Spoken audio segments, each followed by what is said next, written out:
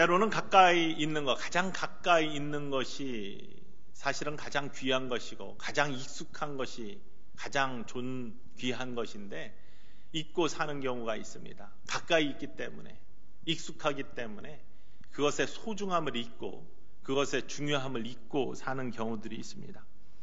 그런데 때때로 어떤 계기를 통해서 그것들이 얼마나 소중한지, 그것들이 얼마나 중요한지 이런 것들을 깨닫는 시간들이 있습니다. 제가 살던 콜로라도 스프링스에는 Garden of Gods라는 아주 유명한 공원이 있습니다. 세계에서 그 공원을 보러 옵니다. 무료인 공원입니다. public park인데 public park는 돈을 내지 않고 들어가는 공원을 의미합니다. 여행가들이 뽑은 미국 내 public park 돈을 내고 들어가지 않는 공원 1, 2, 3위 랭킹을 보면은 1위가 바로 Garden of Gods 신들의 정원이라는 어, 제가 살던 곳에 있던 그러한 공원입니다. 너무나 아름답습니다. 아, 색깔이 기가 막힌 아, 기암 괴석과 나무들이 어우러져 있는 그러한 곳. 2위는 어, 뉴욕 맨하탄에 있는 어, 센트럴 파크를 보통 2위로 뽑습니다.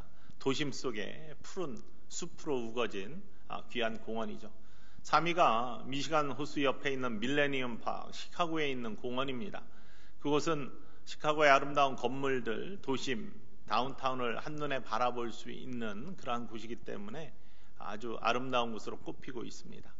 세계적으로는 1위가 밴쿠버에 있는 스탠리 파크인데 이 스탠리 파크는 바다가 있고 숲이 있고 도심이 보이고 이 모든 것들이 갖추어져 있기 때문에 세계 1위인 것 같습니다. 그리고 Garden of Gods가 2위이고요. 제가 다 가봤는데 경치만 따지면은 어, Garden of Gods가 1위인 것 같아요. 너무나 아름답습니다. 저는 손님이 올 때마다 모시고 가고 또 쉬는 날이면 가족들과 함께 걸으러도 가고 아침이 다르고 저녁이 다르고 햇볕의 각도에 따라서 다르고 햇살의 크기에 따라서 경치가 달라지고 계절에 따라서 운치가 달라지는 곳. 정말로 귀한 곳인데 정말 가까이에 있고 뭐 집에서 차로 15분 20분이면 가고 또 같은 도심 속에 있으니까 이 좋은 곳을 많은 사람들이 찾을 것 같은데 그렇지 않습니다. 제가 아는 어떤 분은 그곳에 30년 살았는데 딱 한 번 가봤다는 분도 계십니다.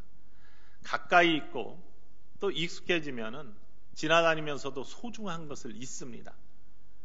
그런데 어떤 계기를 통해서 그것이 얼마나 귀중한 것인지를 깨닫는 그러한 시간들이 있습니다. 우리의 몸이 언제나 우리와 함께 있기 때문에 이 소중함을 잘 모르죠. 언제 소중함을 아냐, 중요함을 아냐, 아프거나 병들면 이 몸이 얼마나 소중한지, 우리가 이것을 왜 잘 가꾸었어야 되는지를 알게 됩니다. 깨닫게 됩니다. 그냥 늘 익숙하니까, 늘 가까이 있으니까 소중하지, 소중하게 생각하지 못하고 있었던 것을 소중하게 여길 수 있는 계기. 성전도 그렇고 또 특별히 가까이 있는 가족들 그렇습니다. 항상 옆에 있기 때문에 소중함을 잘 모르죠. 떠나봐야 합니다. 뿐만 아니라 옆에 있는 익숙한 물건들이나 사람들 마찬가지죠. 늘 익숙하기 때문에 가까이 있기 때문에 소중함을 모르다가 어느 계기에 소중함을 알게 되는 모습들이 생겨나게 됩니다. 오늘 본문 말씀이 바로 그런 말씀입니다. 이스라엘 백성들은 하나님께서 늘 가까이 계셨습니다. 늘 함께 하셨습니다. 가까이 계시고 함께 하시니까 늘 익숙해져 있어서 힘들 때는 부르짖고 고통스러울 때는 찾기는 했지만 하나님이 얼마나 소중한지 하나님이 얼마나 가까이 계셨는지 이것들을 잊고 살았습니다. 이집트에서 종살이 하면서 그 노역이 중할 때 하나님 부르짖고 하나님 찾고 했는데 하나님이 그 속에서도 언제나 그들을 불쌍히 여기시며 마음 졸이시고 또 그들에게 마음을 주심에 계셨다는 그러한 사실은 잊고 살았습니다. 늘 가까이 계시고 돕고 계셨는데도 늘 익숙하니까 늘 가까이 계시니까 깨닫지 못하고 하나님을 찬양하거나 하나님을 경배하는 일들이 없었습니다. 성경에 보면은 출애굽하고 나서도 하나님을 찬양하거나 하나님을 경배했던 그러한 찬양의 시들이 나와 있지 않습니다. 오늘 출애굽기 15장에 처음 하나님을 찬양하는 모습들이 등장하고 있습니다. 가까이 계시고 함께 하시고 도우시는 하나님을 직접 눈으로 묵도하고 홍해 속에서 하나님이 함께 하심, 가까이 하심 얼마나 귀중한지, 얼마나 존귀한지를 깨달은 다음에 하나님을 찬양하는 모습이 오늘의 본문 말씀입니다. 이야기는 그렇습니다. 종살이에 시달리고 있던 이스라엘 백성들 하나님 찾고 부르짖었죠. 하나님께서 그 소리를 들으시고 모세를 이집트에 보내셨습니다. 준비된 종을 보내셔서 그들을 구원하시기 원하셨습니다. 바로에게 가서 이스라엘 백성들을 내놓으라고 하자 바로는 저항했습니다. 하나님은 열 가지 재앙을 통해서 바로를 시험하셨고 특별히 모든 장자의 죽음을 통해서 이스라엘 백성들을 구원해 내셨습니다. 약속의 땅 가나안 젖과 끓이 흐르는 가나안 땅을 이스라엘 백성들에게 약속하시고 그것을 향해 행군하게 하셨습니다. 그런데 이들은 그러한 하나님의 은혜 가운데 광야로 나왔음에도 불구하고 그 고단한 길 그리고 예측되지 못했던 길을 가기 때문에 큰 하나님에 대한 경배와 찬양은 있고 하나님이 얼마나 가까이 계시고 하나님이 얼마나 귀중한지를 미처 깨닫지 못하고 있었습니다. 그들에게는 입술에서의 찬양도 없었고 신앙의 고백도 없었습니다. 아, 하나님이 이렇게 우리를 구해 주셨구나. 아, 하나님이 이렇게 우리와 함께 하시는구나. 이런 고백이 전혀 성경에 나타나고 있지 않습니다. 그런데 그렇게 구원해 주신 하나님께서 그들을 인도하신 것이 바로 젖과 꿀이 흐르는 땅이 아니라 앞이 가로막힌 바다였습니다. 홍해였습니다. 홍해가 앞에 가로막혔고 이스라엘 백성들을 내어준 바로 왕은 나중에 그들이 떠났다는 사실을 알고서 그들을 다시 되돌려 노동력을 다시 가지고 오기 위해서 군대를 일으켜 그들을 쫓아가기 시작했습니다. 앞은 막혀 있고요. 뒤에서는 군대가 쫓아옵니다. 그들은 죽음의 직면에 있습니다. 불평하기 시작했습니다. 아니, 우리가 이집트에서 종살이, 노예로 있는 것이 훨씬 더 나을 뻔했다.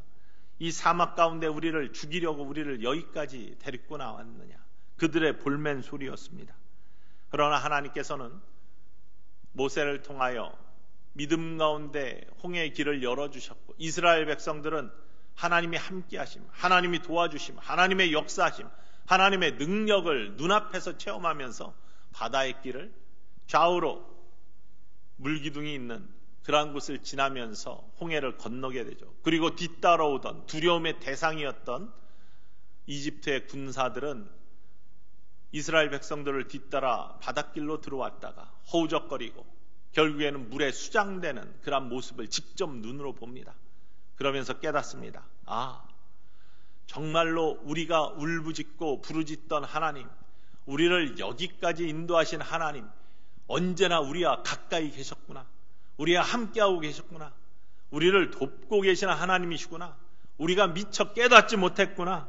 그 하나님을 내가 찬양한다. 그 하나님을 우리 함께 찬양하자 하면서 하나님이 우리의 구주이심을 찬양하는 놀라운 찬양의 시가 바로 출애굽기 15장 오늘 읽은 본문 말씀에 나오고 있다는 사실입니다. 우리가 가야 될 인생의 길, 천성을 향한 우리의 인생의 길, 하나님 나라를 향한 우리의 인생의 길, 뿐만 아니라 하나님이 맡겨 주신 그러한 길들로 우리가 나아갈 때, 때로는 우리는 홍해 같은 장애를 만납니다. 풀어야 될 숙제를 만납니다. 뒤에서는 따라오는 군사들이 있습니다. 두려움과 염려와 우리들을 옥죄어오는 불안들, 코로나 같은 홍해가 건널 수 없을 것 같은 홍해가 바로 우리의 눈앞에 놓여 있고, 뒤에서는 불안한 마음, 염려의 마음, 또 뿐만 아니라 두려운 마음들이 우리를 옥죄이고 있는 이 현실 속에 홍해 같은 상황 속에서도 우리에게 하나님께서는 오늘 본문 말씀을 통해 앞으로 이루어질 미래 소망들을 생각하라라고 우리에게 외치고 계십니다. 환란은 인내를 낳고 인내는 연단을 낳고 연단은 소망을 낳는 귀한 소망의 삶을 잊지 말아라. 프라의 숙제들 믿음 가운데 풀어내면 이스라엘 백성들이 깨달은 우리와 언제나 가까이 계시고 우리를 도와주시고 우리와 함께 하시는 하나님을 잊고 살았던 우리에게 하나님을 다시 한번 생각하게 하고 깊은 감사와 찬양의 시를 하나님께 올려드릴 수 있는 축복의 시간들이 임한다. 라는 소망의 메시지를 오늘 이 아침에 우리에게 던져주고 계신 하나님의 음성을 들으시기를 주님의 이름으로 간절히 축원을 드립니다. 가까이 계시는 하나님. 늘 가까이 계셨기 때문에 잊고 살았던, 늘 익숙하기 때문에 잊고 살았던 하나님의 놀라운 은혜와 우리들을 향한 사랑, 바로 이러한 위험을 만날 때 깨달을 수 있고 눈앞에서 이겨내는 능력의 하나님의 놀라운 축복을 만날 때 우리는 더 큰 찬양과 더 기쁜 놀라운 섬김의 모습들을 가질 수 있다는 사실을 이 아침에 꼭 기억하시기를 원합니다. 막혀 있을 때 모세에게 준 하나님의 음성은 이거입니다. 출애굽기 14장 13절과 14절에 이렇게 하나님께서 모세를 통해서 이스라엘 백성들에게 말씀하고 계십니다. 모세가 백성에게 이르되 너희는 두려워하지 말고 가만히 서서 여호와께서 오늘 너희를 위하여 행하시는 구원을 보라. 너희가 오늘 본 애굽 사람을 영원히 다시 보지 아니하리라. 여호와께서 너희를 위하여 싸우시리니 너희는 가만히 있을지니라. 아멘. 홍해를 만났을 때 건너갈 수 없을 것 같은 위험을 만났을 때 하나님께서는 모세를 통해서 두려워하지 말라. 하나님께서 너희를 위해 대신 싸워 주신다. 너의 길들을 열어 주실 것이다. 우리가 가져야 될 것은 무엇이냐? 하나님을 믿는 믿음, 언제나 가까이 하시고 우리를 도와주시는 하나님의 놀라운 은혜, 그거 잊었던 것을 다시 생각해내고 그 하나님을 믿는 믿음을 키우기만 하면 된다. 그러면 대신 싸워주시는 하나님의 은혜로 너희들을 인도하실 것이다. 라고 이스라엘 백성들에게 굳건하게 선포를 합니다.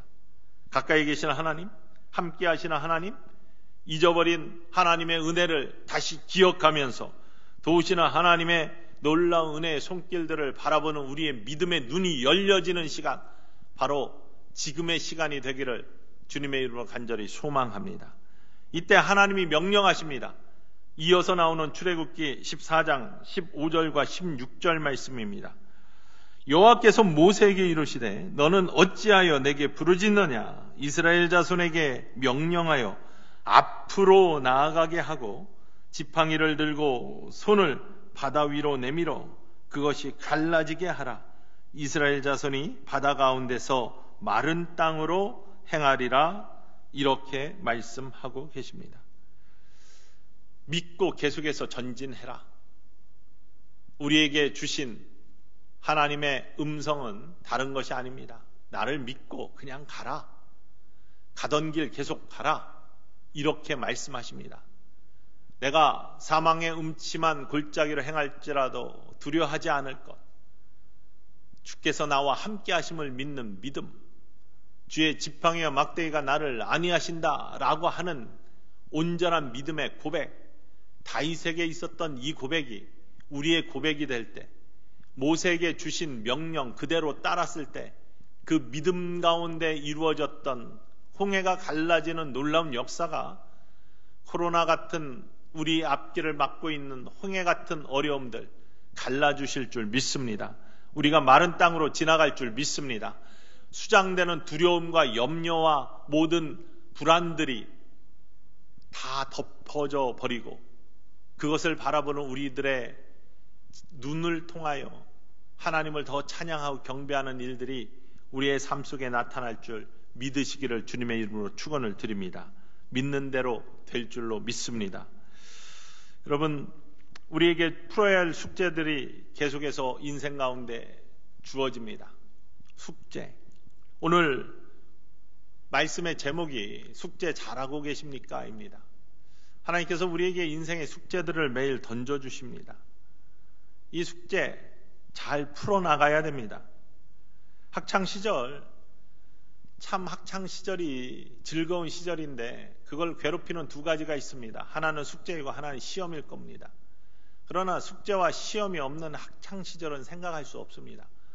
숙제와 시험은 우리를 괴롭히려고 있었던 것이 아니라 지금도 마찬가지로 우리를 괴롭히려고 원래 있는 것이 아니라 숙제와 시험은 우리의 인생을 더 단단하게 하고 삶의 지경을 넓히고 또 삶에 도움을 주려고 있는 것이 숙제와 시험이죠. 지금처럼 사람들을 괴롭히고 또 인생을 어렵게 만들려고 하기 위해서 원래 있었던 것이 숙제와 시험이 아닙니다. 시험과 숙제는 그것을 통해서 지식이 자라고 삶의 그러한 그 상식들이 넓어지고 그러니까 삶의 지경이 넓어지는 것이죠. 그리고 삶의 토양들이 단단해지게 하는 것이 바로 숙제와 시험입니다. 그래서 학생 때 숙제와 시험은 책임이고 의무입니다.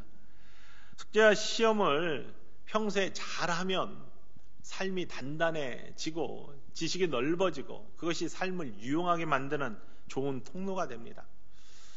지금 방학이 길어지면서 아이들이 집에서 신나합니다. 원래 내준 방학 숙제 없이 그냥 지나기 때문이죠. 모르겠습니다. 우선 온라인 통해서 어, 떤 숙제를 더 주었는지는 잘 모르겠습니다. 중요한 것은 예전에 그런 방학 기간에 우리들의 모습을 기억해 봅니다. 실컷 놀다가 나중에 며칠 남으면 이거 큰일 났다 생각하고 숙제를 하기 시작합니다. 너무나 시간에 쫓기다 보니까 제대로 하지 못합니다. 그러면서도 안 해갈 수 없으니까 그냥 그거 하느라고 잠도 못 자고 숙제를 하던 그런 기억들이 납니다. 숙제는 그렇다 치고 일기가 문제입니다. 하나도 안 쓰다가 한꺼번에 쓰려고 하면은 굉장히 힘듭니다. 내용이야 이거 하고 놀았다 저거 하고 놀았다 이렇게 쓰면 되겠지만 날씨가 문제이죠.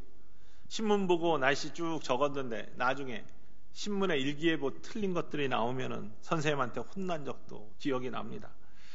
이렇게 숙제는 한꺼번에 하는 것이 아니라 매일매일 주어진 대로 해야지 그 실력이 북돋워지고 그것들이 우리의 인생에 도움이 되겠죠.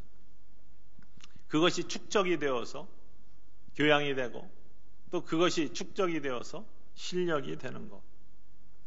제가 다닌 대학은 대학교 1학년 1, 2학기에 국어가 필수입니다. 1학기 때는 15일에 한 번씩 단편 소설 두 권씩을 읽고 독후감을 내야 됩니다. 두 편씩. 그러면 조고들이 채점을 해서 분량 아니면 패스 이렇게 해가지고 항상 돌려줍니다. 분량을 맞으면 다시 써내야 됩니다. 보름에 단편 두 편을 읽고 다른 것도 많이 있는데 독후감을 그것도 예전엔 원고지에다가 다 일일이 써서 내는 것이 그리 쉬운 일이 아닙니다. 그거 할 때는 얼마나 불편한지 알 수 없습니다. 버겁습니다. 그런데 그것들을 꾸준히 해내지 않으면 졸업을 할 수 없기 때문에 하긴 하는데 그것이 나중에 보면 글 쓰는 훈련이고 필력이 됩니다. 2학기 때는 사자성어를 수백 개를 애워가지고 시험을 봅니다. 국어 시간에 이제 국어에 딸려 있는 그런 모습입니다. 그것들을 함께 패스를 해야지 졸업을 할 수 있습니다. 제가 캘리포니아에서 목회할 때 1.5세, 2세들이 많았습니다. 음, 이들은 뭐 초등학교 아니면 더 일찍 아니면 태어난 미국에서 태어난 분들도 있는데 어, 또 아니면 중학교 때 온 분들까지 한국말은 곧잘 합니다. 알아듣기는 합니다.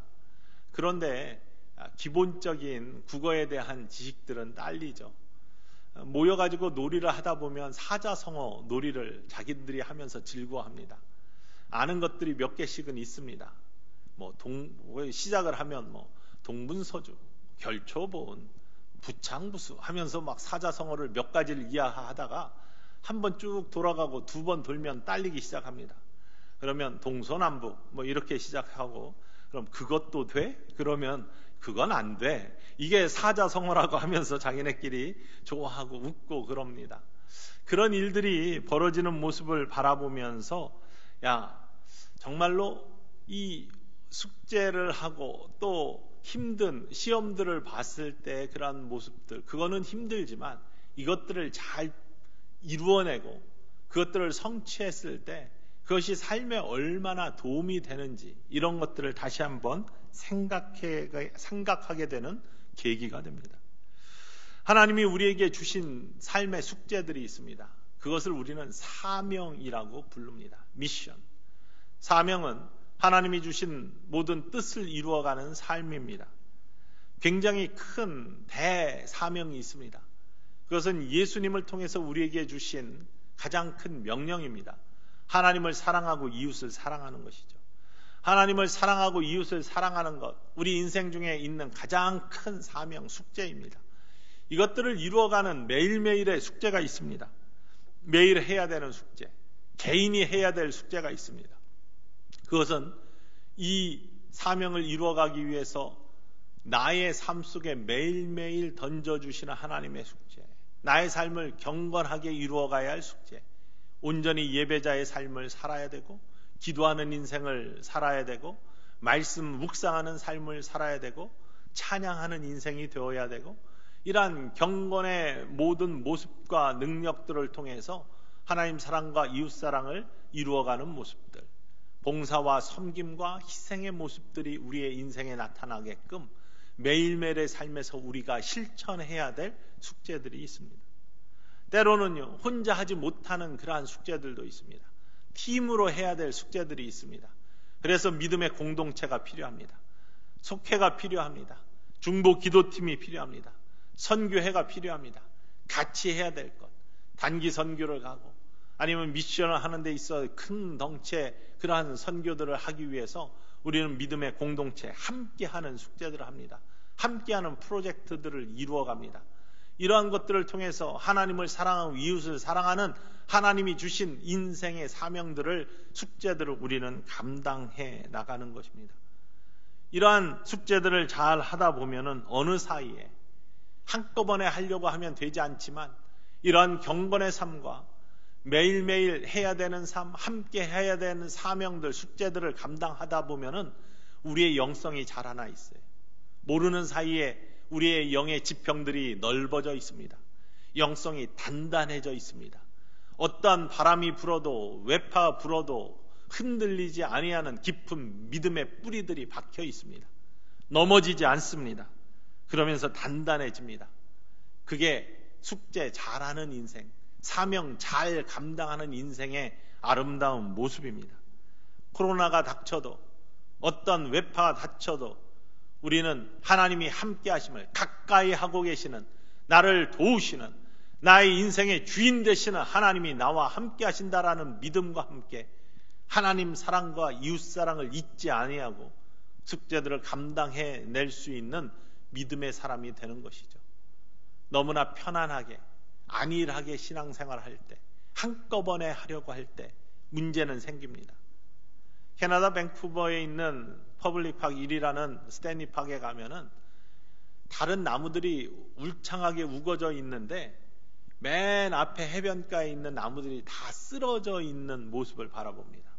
다른 곳은 다 울창한데 그쪽에 있는 나무들이 다 쓰러져 있어서 공원 어, 안내하는 사람한테 물어보면 그렇게 이야기합니다. 수년 전에 굉장히 센 원래 바람이 없는 곳인데 풍, 풍파가 없는 곳인데 갑자기 이상 기후로 어, 갑자기 센 바람이 불어닥쳤답니다. 그래서 나무들이 다 견디지 못하고 다 넘어졌다는 것입니다. 근데 그 나무들이 그대로 있어요. 뿌리가 다 뽑혔습니다. 근데 뿌리가 굉장히 짧습니다. 이유는 그렇습니다. 그것은 비가 많은 곳입니다. 우기, 겨울철에 늘 비가 있고, 그래서 영양분이 많은 그러한 땅입니다. 뿌리가 깊게 내릴 필요가 없는 것이죠. 세찬 바람 한 번 부르면 쉽게 넘어질 수밖에 없는 준비되어 있지 않은 그리고 그것들을 이겨낼 수 있는 힘이 없는 그러한 나무들이었습니다. 그러다 갑자기 바람이 불어 닥치니까 넘어져 버린 것이죠. 우리들이 영적인 숙제들 하나님이 주신 사명 이거 매일매일 잘 감당할 때 믿음의 뿌리들이 깊게 바뀌어서 어떤 세찬 사단의 유혹과 바람이 불어도 넘어지지 아니하는 인생이 될 수 있음을 이런 코로나 같은 홍해 같은 위험을 만났을 때 장애를 만났을 때 우리가 더욱더 절실히 깨닫고 여러분의 매일의 삶에 정말 숙제 잘 하시는 아름다운 인생이 되기를 주님의 이름으로 간절히 축원을 드립니다. 그것이 우리의 인생에 너무나 중요한 일입니다. 그러면서 하나님께서는 또 하나의 우리에게 주시는 위로의 말씀이 있습니다. 우리의 인생에 주시는 모든 시험은요, 감당할 만한 시험만 주신다라고 성경은 약속하고 있습니다. 그렇기 때문에 우리는 어떠한 경우에도 결코 포기해서는 안 됩니다. 포기하지 마십시오. 여러분 인생에 어떤 홍해 같은 장애를 만났을 때에도 결코 포기하는 인생이 되어서는 안 됩니다. 결코 절망하는 인생이 되지 마시기를 주님의 이름으로 간절히 축원을 드립니다. 때로는 홍해 같은 인생, 지금 코로나 전국 속에 많은 사람들이 이를 어찌할고 이를 어찌할고 하면서 뒤에 따라오는 이집트 군사와 같은 두려움과 염려와 불안 때문에 마음을 옥죄이며 건너갈 수 없을 것 같은 그러한 절망 가운데 힘들어하고 계신 분들이 많은 것을 발견합니다. 특별히 사업하시는 분들 사업이 너무 어려워서 너무나 물질적으로 힘들어 하시면서 고생하시는 모습을 바라볼 수 있습니다. 하지만 결코 포기하지 마십시오. 하나님은 감당할 만한 시험만 주신다고 약속하셨습니다. 반드시 회복될 줄 믿습니다. 일으켜 세워주실 줄 믿습니다. 전화 위복될 줄 믿습니다. 새로운 기회를 만들어 주실 줄 믿습니다. 하나님께서 약속하셨기 때문입니다. 믿음으로 굳건히 나아가면 열려질 줄 믿습니다. 고린도전서 10장 13절 말씀에 하나님께서 사도 바울을 통해서 이렇게 약속하고 계십니다. 사람이 감당할 시험 밖에는 너희가 당한 것이 없나니 오직 하나님은 미쁘사 너희가 감당하지 못할 시험 당함을 허락하지 아니하시고 시험 당할 즈음에 또한 피할 길을 내사 너희로 능히 감당하게 하시느니라. 아멘. 우리에게 감당할 시험을 주십니다. 지혜를 주실 것입니다. 길을 열어 주실 것입니다. 마른 땅으로 지나가게 하실 줄 믿습니다.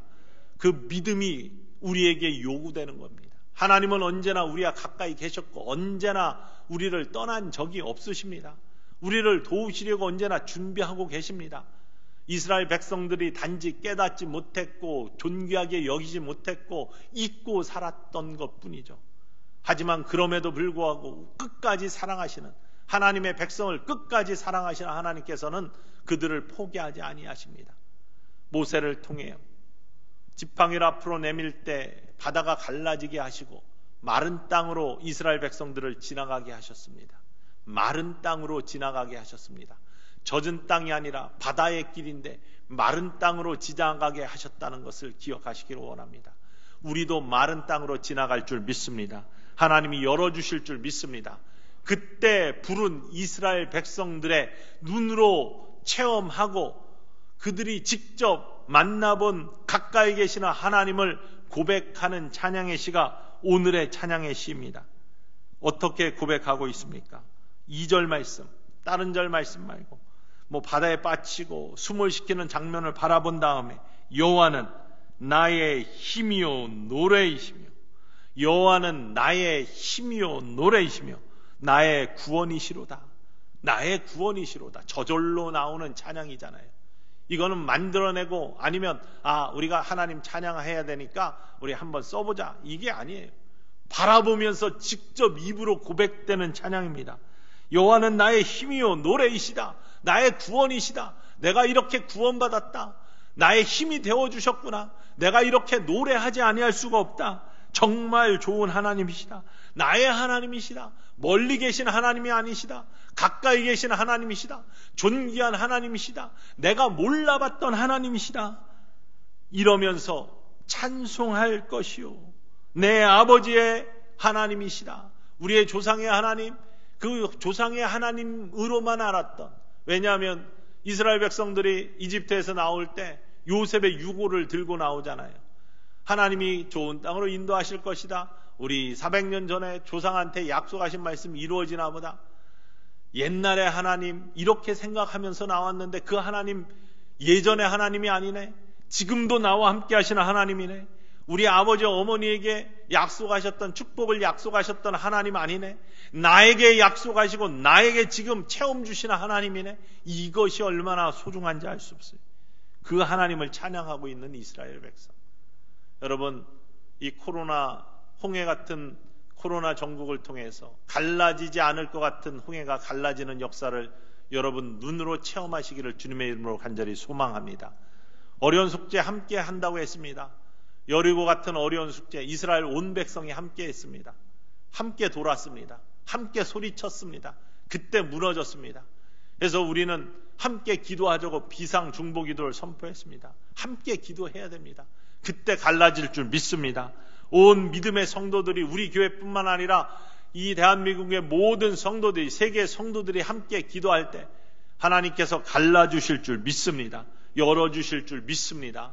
바로 그걸 바라보면서 바로 나의 하나님, 우리 믿음의 아버지, 어머니의 하나님이 아니라 바로 내 하나님, 내가 구원받았다. 내가 하나님 체험했다. 나에게 가까이 계셨구나. 나와 함께 하시는구나. 주어진 숙제 잘 해나가면 그 하나님 체험하는 겁니다.